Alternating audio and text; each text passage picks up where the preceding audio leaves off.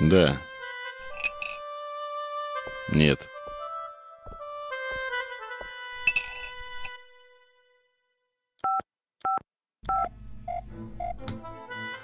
Но эта ситуация мне знакома, как обычно. Разводит твой родственник. Не умеет разводят. Да с людьми вообще плохо работать. Говорили одно, на деле совершенно другое принесли. Так обычно получается. Ну, ну... ну. Последний момент.